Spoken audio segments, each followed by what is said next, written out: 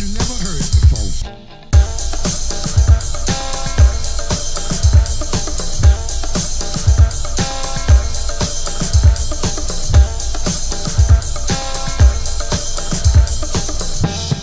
So we're talking about this picture about the Cox.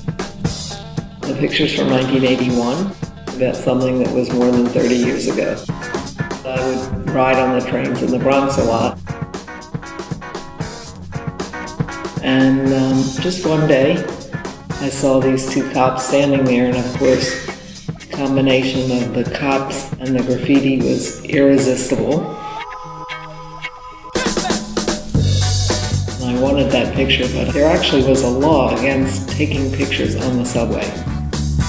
So I didn't know, you know, would those cops go for it or not go for it, but I couldn't resist trying. I didn't want to ask them because if I asked them and they said no, then of course I wouldn't be able to do it. So I just had to get up and stand instead of sitting. And I just took two pictures. And they didn't say anything, and I didn't say anything. And that was the end of that. But luckily, um, I got the shot.